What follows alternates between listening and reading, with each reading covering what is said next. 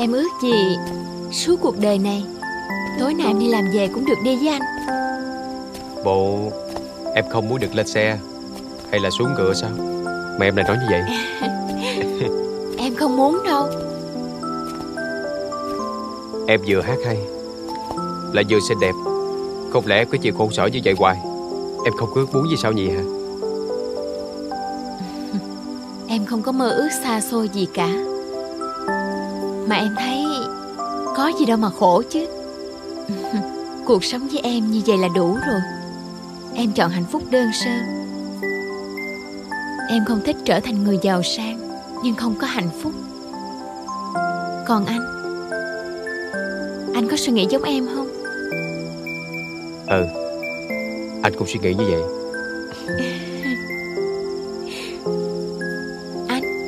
Hay là mình ăn khuya đi thấy đói bụng quá à.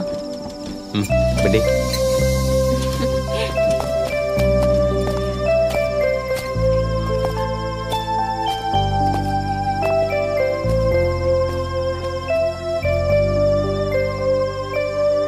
Chị ơi Cho em hai tô Một tô nhiều thịt nha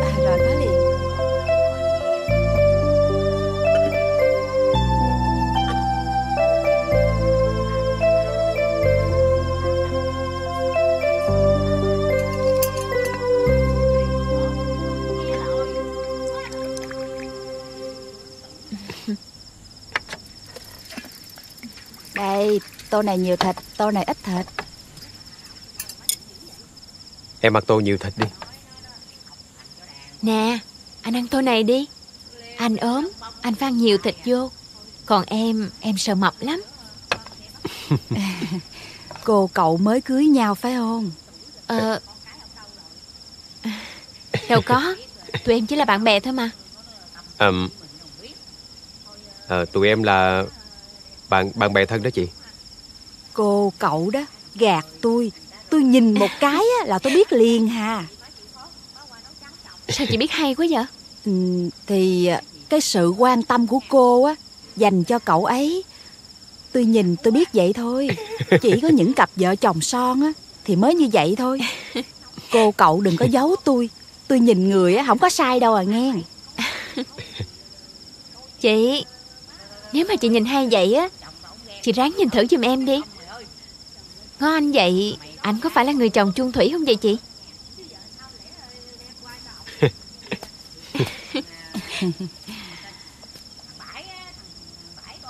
Cậu đây á chắc chắn sẽ là một người chồng rất mẫu mực và chung thủy. Tôi bảo đảm với Ừ. cô đó. Dạ. Nếu mà chị nói vậy á Thì em cũng yên tâm rồi ha. Chị là thầy bói hả? Không Chỉ là kinh nghiệm tình cảm của tôi thôi Tôi á Có ba đời chồng rồi đó. Hả? Ờ. Chị dữ thiệt nha. Nhưng mà cái số của tôi á Nó khổ lắm cô ơi. Hồng nhan bạc phận lắm. Um, Chị nói hồng nhan bạc phận Mà chị có tới ba đời chồng. Ừ, Chắc vợ em sau này Cũng vậy luôn hả chị? Anh này Thôi đi Thôi cô cậu ăn ngon miệng nghe. Tôi đi vô làm công đèn. Dạ. Nhiêu vậy? Hai hào chị. Ờ nè, Cảm ơn chị nghe. Em ăn đi. Rồi đi con. Vậy, bữa Anh sau ăn ghé nha chị. Ờ, đi con. Dạ.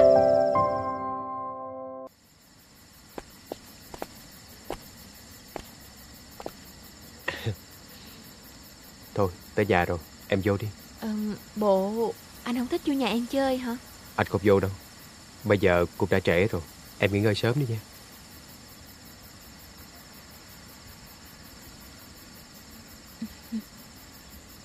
Anh về nha em.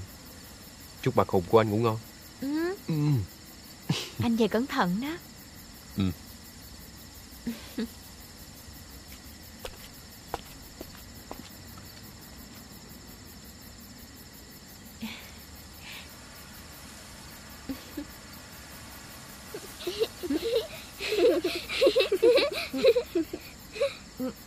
Cười cái gì?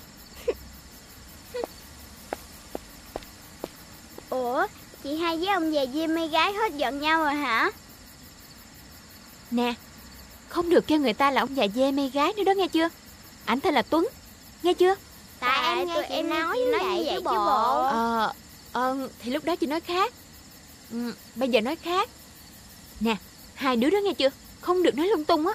Dạ Có đồ ăn cho hai đứa nè. Có thích Cảm không ơn chị hai Nè Má đâu rồi hai đứa? Dạ Má đi chơi rồi. Má đi hồi nào vậy? Hồi nãy á Má đi với các anh đi xe hơi á.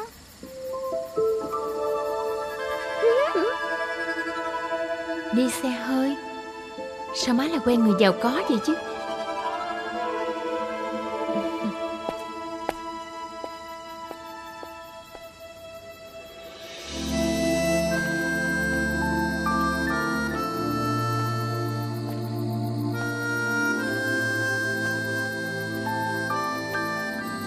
Em không muốn mơ ước xa xôi.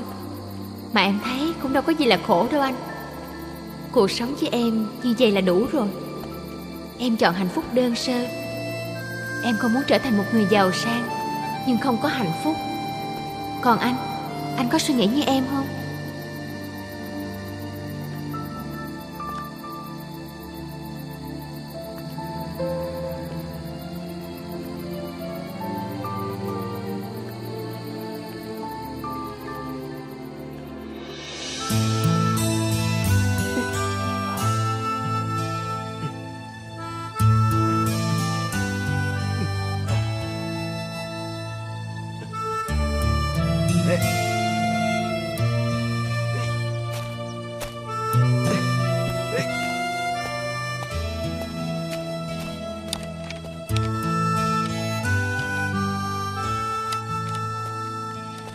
Số lượng sao rồi Tuấn? chú Ờm, Chú không phải lo lắng. Con nghĩ là Chắc tới trưa sẽ đủ số lượng mà chú. Tốt rồi. À Tuấn nè. Dạ. Sao hả chú? Con đã chuẩn bị đối phó với những tình huống xấu. Có thể xảy ra chưa? Chú cứ yên tâm. Con đã chuẩn bị kỹ càng lắm rồi. Chắc chắn là sẽ không có chuyện gì đáng tiếc xảy ra đâu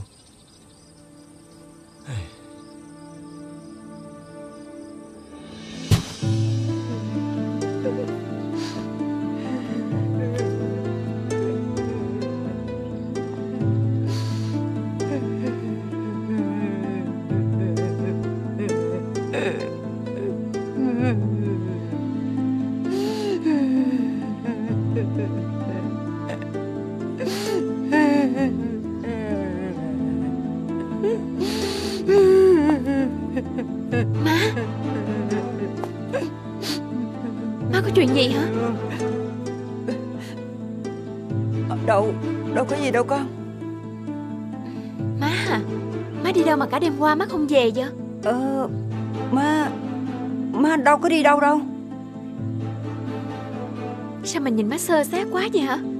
Có chuyện gì xảy ra vậy má? Má nói cho con nghe đi. Ờ đâu Đâu Đâu có chuyện gì đâu con. Má nói không có chuyện gì mà Con đừng có hỏi má nữa. Ừ, Má. Để má đi nấu cơm nha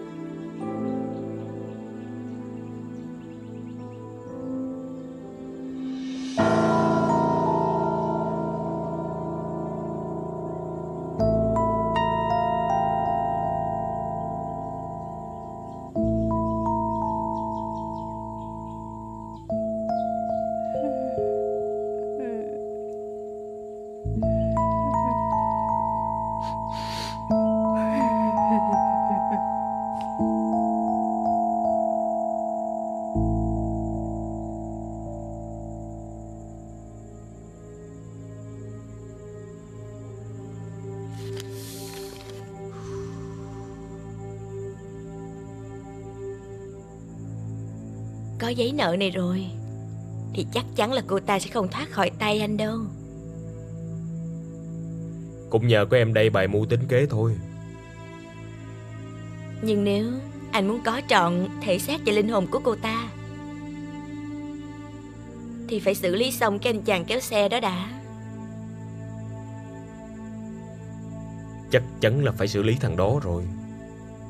Để xem lần này Nó có chịu cúi đầu trước anh hay không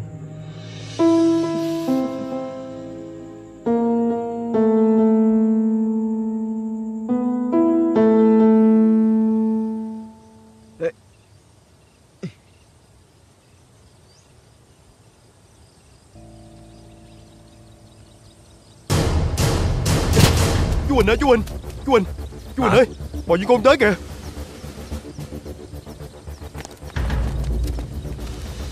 Bây giờ làm sao hả Tuấn?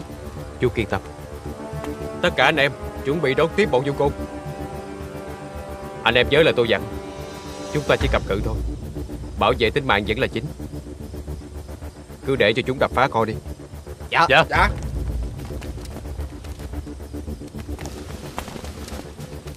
Đập mày một trận rồi Chưa sợ sao lão già kia Ông không thực hiện theo yêu cầu của tụi tôi Mà còn dám chống đối nữa hả? Ông mà ngoan cố Thì đừng trách tụi này xuống tay độc ác nha. Nè Tụi bay nghĩ xã hội này không có luật pháp hay sao? Muốn làm gì thì làm à? Luật pháp là của tụi tao. Chắc mày là thằng Tuấn chứ gì? Hừm, Tụi bay Phá hết đồ đó cho tao.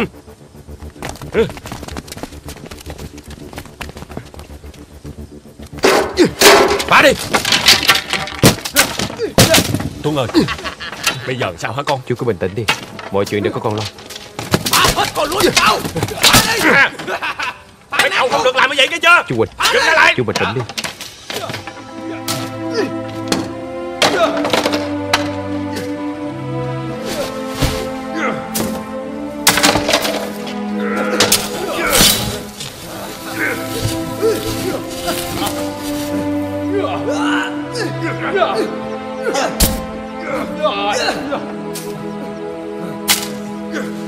Mày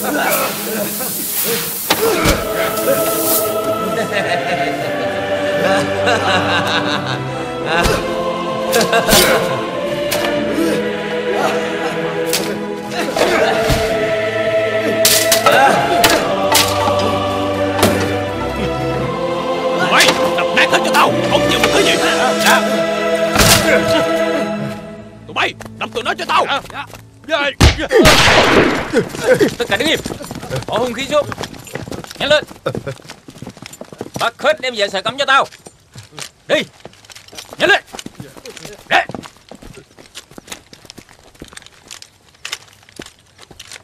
Dạ chào Tất ngài. cả mọi người có sao không? Dạ cảm ơn ngài. Cũng may là có ngài đến kịp lúc. Anh em tụi tôi không sao hết. Xin cảm ơn ngài. Cũng may là có cậu Tuấn đến báo sớm. Nếu không thì có nhiều chuyện đáng tiếc xảy ra. Thôi bây giờ mọi người tiếp tục về làm việc đi. Dạ dạ. Cảm ơn ngài.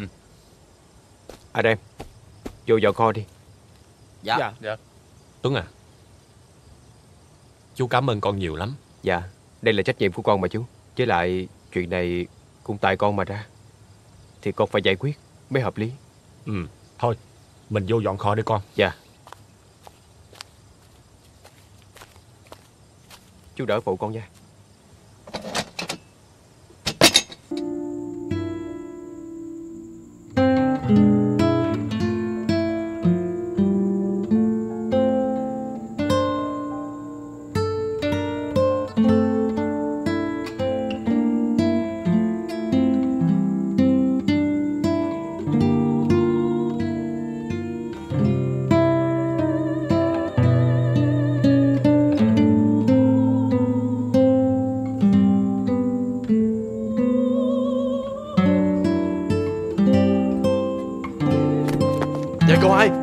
chuyện rồi cậu hai ơi?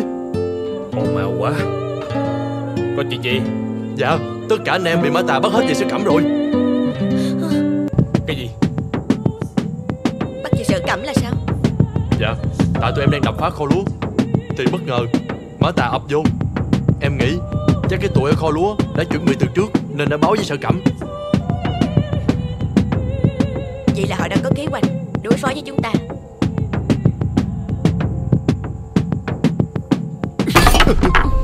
Thằng sẽ kéo. Thằng sẽ kéo khốn kiếp. Chính nó đã chuẩn bị kế hoạch Chứ không phải ai khác. Dạ bây giờ mình phải làm sao hả cậu hai?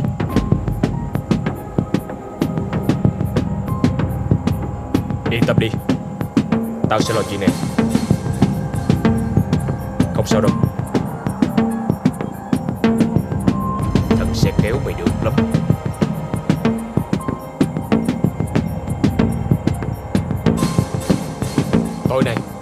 kiếm thêm mấy thằng nữa. Bí mật đốt trụi kho lúa đó cho tao. Để xem Cái lũ khốn đó Chống chọi bằng cách nào. Sao còn chưa đi nữa? Dạ Nhưng Nhưng mà tội nặng lắm đó cậu hai. Tao chịu trách nhiệm! Đi! Dạ Cậu hai.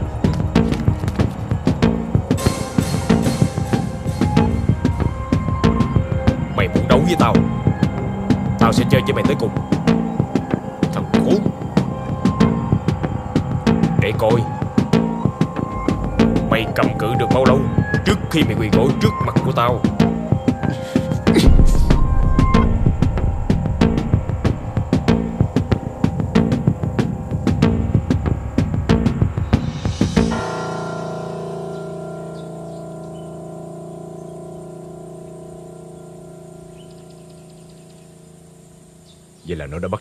Tiết lên rồi. Em cứ để nó đốt khô lúa của người ta. Không cần phải ngăn cản. Nhưng chúng ta cũng phải nắm lấy điều này chứ ông chủ. Em thấy đây là một cơ hội tốt cho chúng ta. Tất nhiên rồi. Em cho người bí mật quan sát chi tiết tất cả những hành động của nó Để có thể tôi tố cáo chuyện này trước chính quyền Khi tôi cần nó. Ừ, Thời điểm mà tôi chờ đợi cũng đã đến rồi. Ừm, Vậy còn lời hứa của ông chủ đối với em thì sao? Tôi đã chuẩn bị cho em cả rồi. Ừ. Nhưng giờ thì chưa được. Em sẽ có nó Khi nào em đã hoàn thành tất cả những công việc mà tôi đã giao cho em. Dạ Em sẽ cố gắng hoàn thành sớm nhiệm vụ mà ông chủ đã giao rất tốt.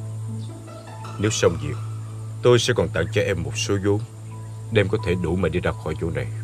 Sống một cuộc sống an nhàn và hạnh phúc với chồng. Dạ Chào ông chủ.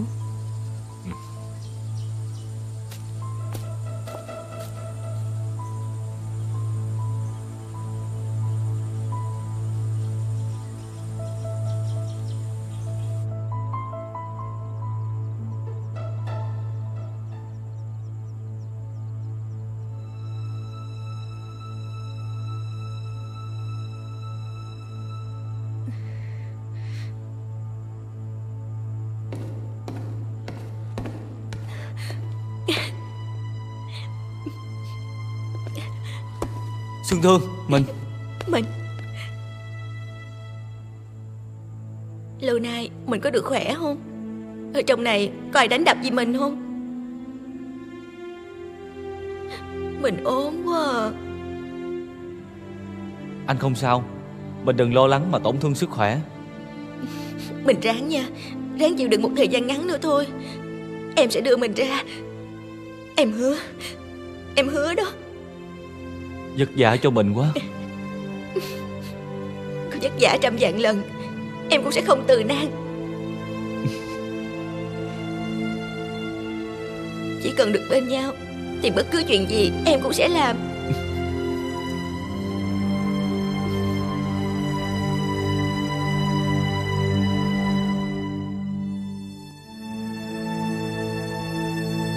Tao uống nha. Rồi uống đây mày.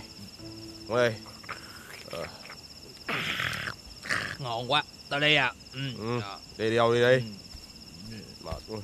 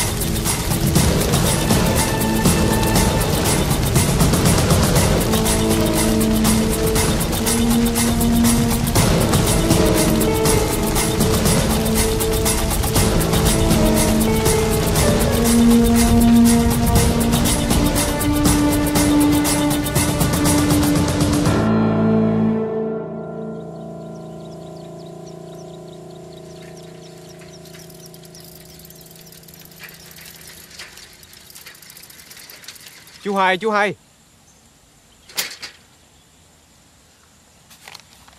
Chú hai ơi. Con mời cô. Ừ cảm ơn. À, Cho con gửi đồ. Nè hồi chào chú một chút nghe. Mày có hay tin gì chưa? Tin gì cô Út? Trời đất ơi Con biết cái kho lúa bên nhà chú Quỳnh không? Dạ biết. Nhưng mà có chuyện gì? Trời ơi đêm hôm qua nó bị cháy rồi. Trời. Cháy lớn lắm á mày ơi. Gì dữ vậy cô Út? Tao đoán là hình như có người đốt á mày Chắc là ổng có thù quán với ai đó. Vậy luôn hả cô? Trời ơi kho lúa cháy hết ha. Tao thấy tội nghiệp ổng ghê mày ơi. Ê dạ? Kỳ này chắc là ổng ờ, bị phá sản quá mày ơi. Ủa cô Cậu nãy đâu rồi? Trời ơi nó làm như là bị ma đuổi vậy Nó chạy một cái èo đi luôn à. Thôi thôi thôi ra Ôi đừng có chỉ trỏ cái gì Hai thằng tụi mày Trông coi kiểu gì mà để nó đốt hết gia sản của chú Quỳnh vậy? Hả? Dạ hồi tối tụi con cũng ngồi ở đây trực chứ bộ. Rồi tụi con nhậu mấy chai lai rai Xong cái ra ngoài Nó đánh con xỉu Hồi nào con không hay luôn. Có bao nhiêu thằng tới đây? Biết không? Dạ con không biết tại vì tối quá. Đi đâu đây? Anh à Không quan sự Tôi làm vô đây. Cho tôi vô. Ông trông coi cái kiểu gì? Sự việc xảy ra như thế nào? Trình bày cho tôi nghe. Tôi cũng tỉnh dậy Thì nó cháy hết rồi. Có chuyện gì vậy chú Cháy Cháy hết rồi Tuấn ơi. Coi như là chú mất hết tất cả rồi con ơi. Sao vậy chú? Tại sao kho lúa lại bị cháy? Có kẻ đột nhập vào Đốt kho lúa con à. Tụi nó đột nhập vào. Đánh hai đứa nó đến bất tỉnh. Rồi sau đó đốt hết kho lúa. Coi như là chú trắng tay thật rồi Tuấn ơi Rồi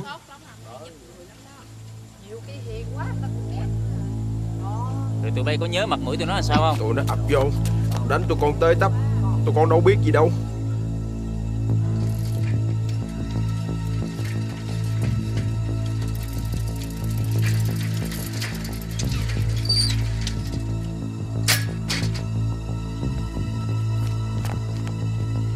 Hai đứa Chị hai có nhà không? Dạ. Chị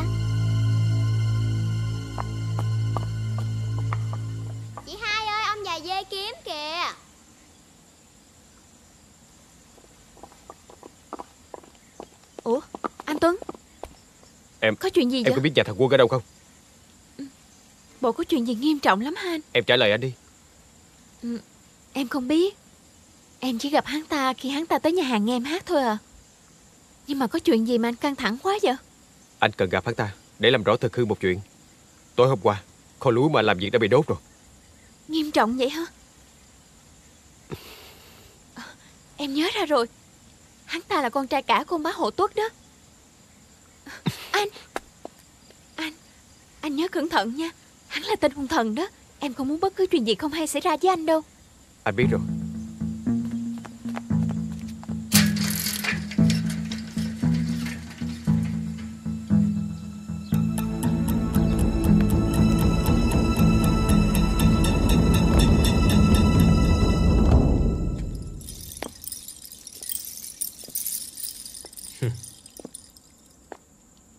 Có chuyện gì mà anh vui quá vậy.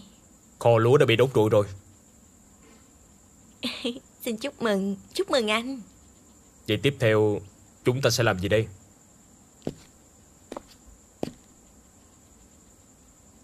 Bây giờ anh phải đi một nơi thật xa Thật đẹp Để vui vẻ hưởng thụ đi. Em nghĩ là Anh phải đi càng nhanh càng tốt. Tại sao anh phải làm vậy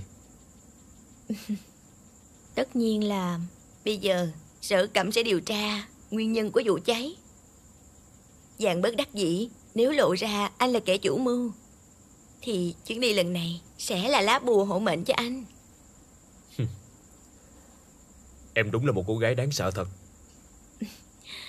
Đây sẽ là bằng chứng ngoại phạm Nếu như mọi chuyện bị bại lộ. Em suy nghĩ thấu đáo cho anh lắm Xuân Thương à Ai biểu Em lỡ thương anh rồi.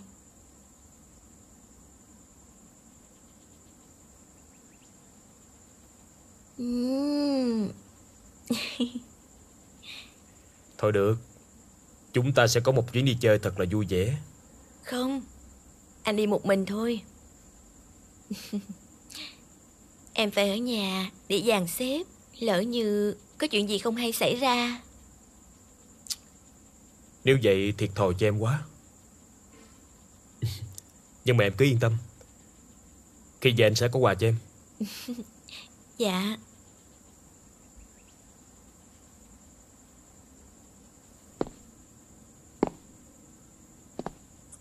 Để coi. Lần này mày làm gì để thắng được tao? Thằng sẽ kéo khốn kiếp. Và cả em nữa Nhi Hà để coi lần này, Em làm sao thoát khỏi tay anh?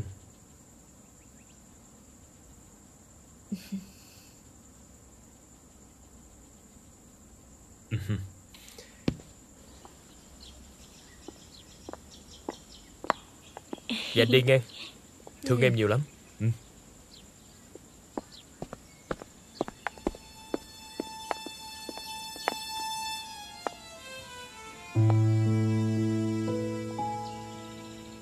Em cũng thương anh nhiều lắm. Cậu hai. Tội nghiệp. Mong là Sau chuyến đi lần này, Anh sẽ còn tiếp tục vui vẻ như vậy nữa.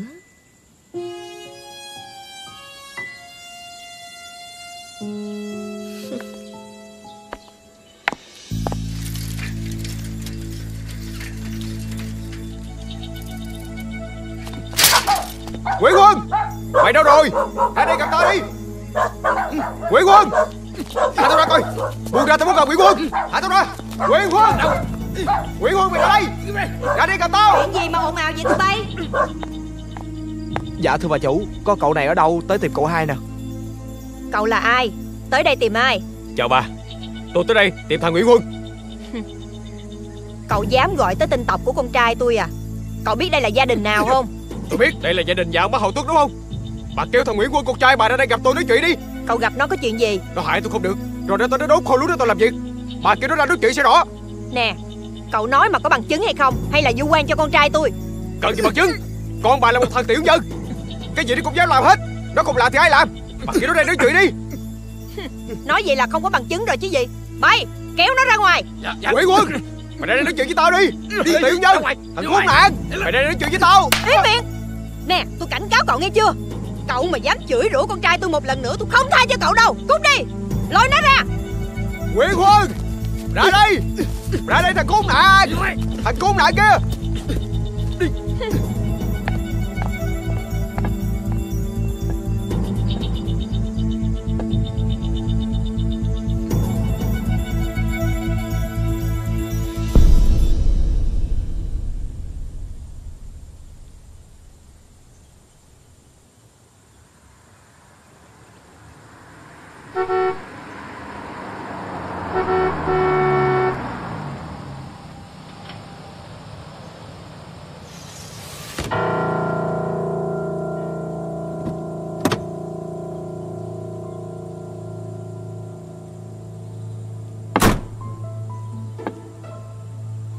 Lúc nãy cậu tìm thật quân Có chuyện gì vậy? Nó cho người đốt kho lúa để tôi làm việc. À Thì ra là vậy à. Nhưng mà ông lại. Lúc nãy thì tôi cũng vô tình nghe câu chuyện của cậu thôi. Nhưng mà tôi cho cậu hay. Thằng Quân nó không còn sống ở trong ngôi nhà đó được đâu. Cậu tìm nó cũng vô ích thôi. Và tôi cũng khuyên cậu luôn Đừng nên gây sự với ngôi nhà đó. Kẻo khổ thân với con mụ đó đó. Cảm ơn ông. Cậu cũng can đảm thiệt. Dám vô nhà của lão tức mà chửi mắng. Tôi khâm phục cậu đó cậu trai Thôi Chào cậu. Nè Cậu tên gì vậy? Tôi tên Lê Văn Tuấn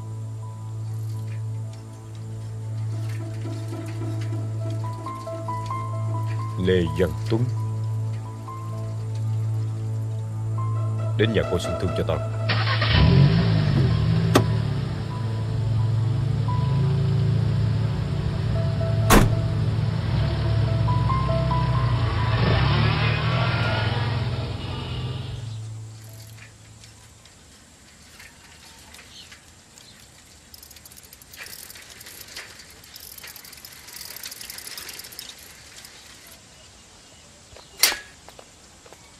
Anh Tuấn.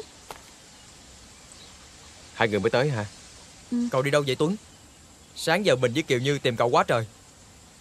Tụi mình biết được cái tin ở kho lúa của chú Quỳnh rồi. Thôi vô nhà ngồi rồi nói chuyện.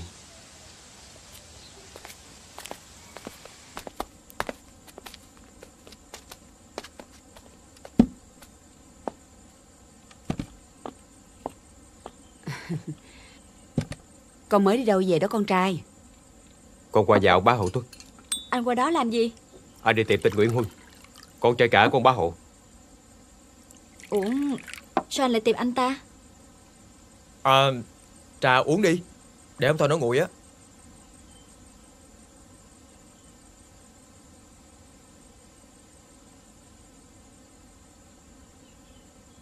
Ờ Anh tìm hắn ta để hỏi vài chuyện linh tinh thôi Chứ không có gì đâu.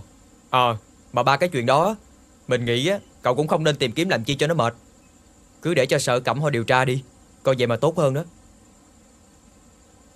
Nhưng mà mình tin chắc là tên đó làm. Ờ là tên Nguyễn Huân gì đó hả anh? Ờ Không phải người đó đâu Kiều Như. Thiệt là tội nghiệp cho chú Quỳnh. Tất cả những chuyện này cũng do mình mà ra. Cậu đang nói cái gì nữa vậy? Bộ đang muốn cháy Ờ. nhà hay sao? Thôi đi. Hai anh nói chuyện gì mà khó hiểu quá à. Không có gì đâu. Thôi giờ vậy nè. Kiều Như á, xuống dưới bếp á Phụ bác gái nấu cơm đi nha. Để anh với Tuấn ở đây nói chuyện đàn ông tí xíu. Rồi có gì trưa nay á Mình sẽ ăn cơm với bác gái và Tuấn ở đây. Ừ. Đi con. Bác cháu mình xuống nấu cơm. Dạ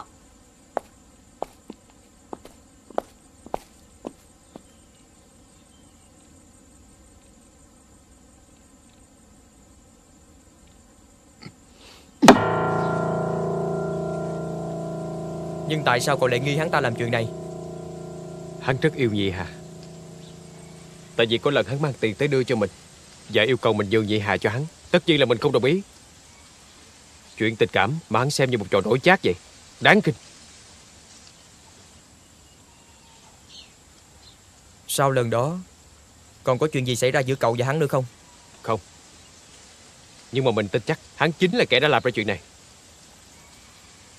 Có lẽ hắn muốn ép mình Phải đầu hàng trước tiền bạc của hắn. Những gì mà cậu nói thật ra Cũng chỉ là những nghi ngờ Không hề có bằng chứng. Mà tính ra Chuyện này cũng rắc rối thiệt. Mà Tuấn nè Cậu có tính toán gì chưa? Mình cũng chưa nghĩ được gì hết. Nè Cậu cũng thừa biết bệnh tình của bác gái rồi đó Phải giữ gìn. Đừng để xảy ra chuyện gì không hay có biết chưa? Mình khuyên cậu hãy bình tĩnh và nhịn nhục. Còn à, ba cái chuyện đó đó Thì cứ để cho sở cẩm họ điều tra. Mình tin là sự thật Rồi sẽ có ngày sáng tỏ. Có lẽ mình cũng chỉ nên biết vậy thôi. Chỉ biết nhịn nhục. Nhưng mình cảm thấy bất nhẫn với chú Quỳnh quá. Mình hiểu tâm lý của cậu mà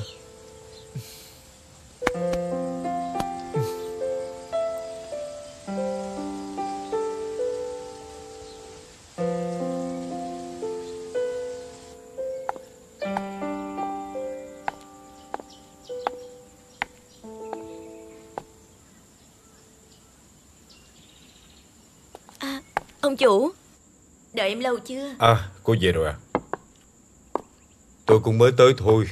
À, Mời em chủ ngồi. Ừ.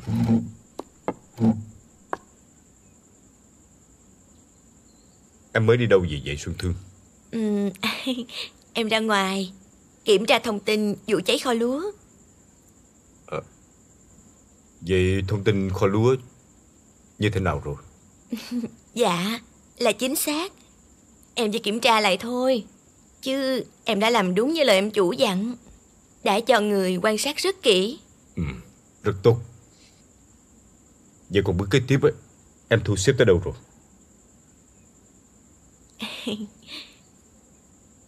Ừ, Em đã lừa cậu hai đi xa Và chuẩn bị tất cả mọi kế hoạch Để ông chủ có thể chiếm được mỹ nhân Vừa giải quyết được khúc mắc trong lòng Lại vừa có được mỹ nhân. Đúng là dùng một mũi tên trúng hai mục đích. Em quả là cô gái tuyệt vời. Em làm cho tôi rất là vui đó nè. Dạ, cảm ơn ông chủ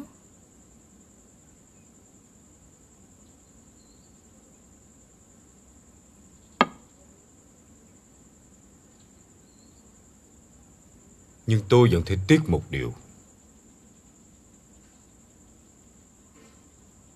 Em có biết Điều đó là điều gì không Sương Thương? Ừ. Đó là điều gì vậy ông chủ?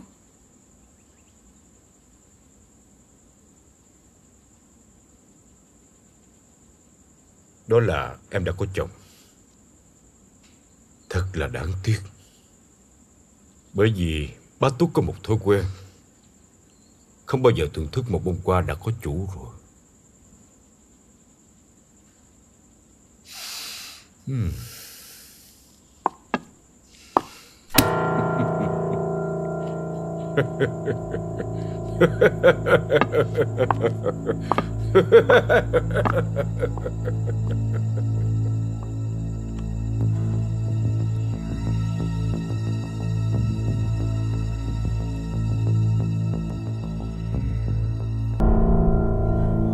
con vậy là đến cha.